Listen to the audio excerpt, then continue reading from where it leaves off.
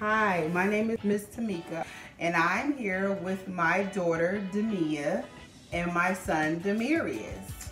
We are brought to you by the Einstein Nutrition Program, as well as the SNAP-Ed Program. We are going to do a video about one of my favorite, favorite fruits, kiwi.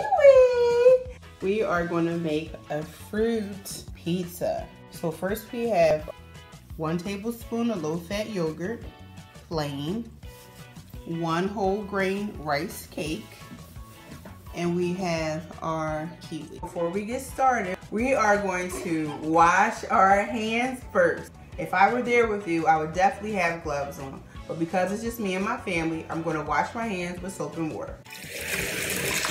Now, as you can see, Demia will be washing her hands before making our pizza. Starting with washing her hands with warm soap and water for at least 20 seconds to keep her hands nice and clean. You can sing the happy birthday song twice for Twinkle Twinkle Little Star.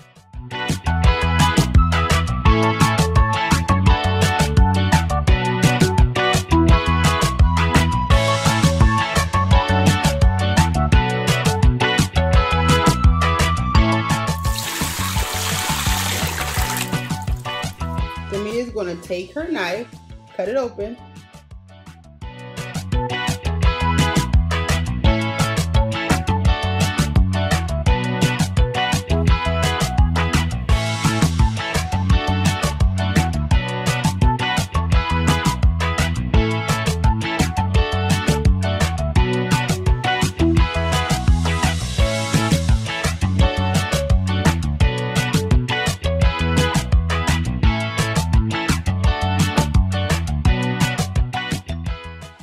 So now we're gonna make our fruit pizza.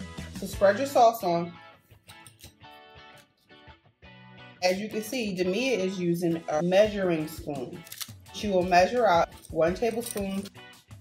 Measuring spoons could be used for dry and liquid ingredients.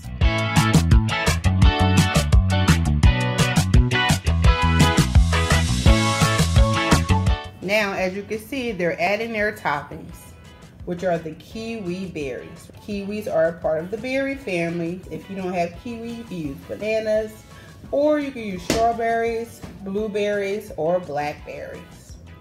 Try it out.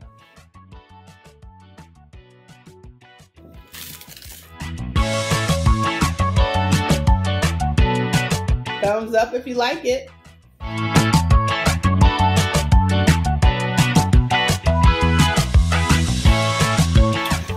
Did you know how the kiwi came to the United States? Yes, Please tell me. it was found in China and made its way to New Zealand, and then it made its way all the way to the United States. Kiwi is a very, very good fruit to have.